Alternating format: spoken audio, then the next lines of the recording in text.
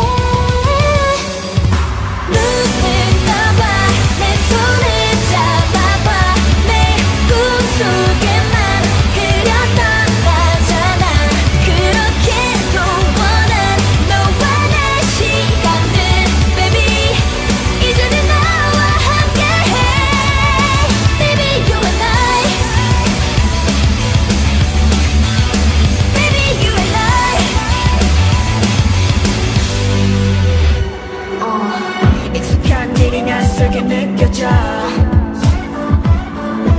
너를 부르는 목소리가